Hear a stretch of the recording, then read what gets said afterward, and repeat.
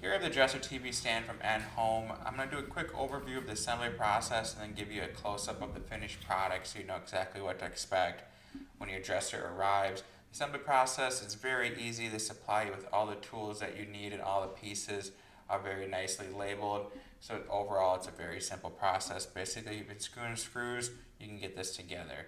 And here's what the LED lights are going to look like on the bottom of it. They're just double-sided tape that you can stick to the top of the dresser. They do give you rubber brackets, but you won't even need to use these if you didn't want to.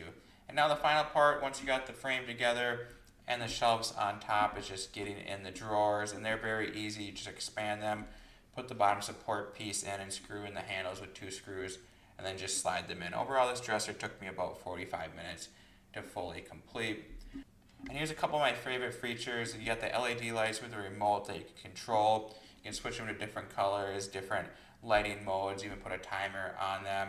And the dresser itself, I love the charging station on there. You get two USB ports and two outlets, so you basically don't even need a surge protector, which is super nice. And the storage space overall is massive. You get nine large drawers, so it should be able to handle whatever clothes that you have. But overall, this was super easy to put together. It was affordable. I like the added touch of the LED lights and the built-in charging station. So I give this thing two thumbs up.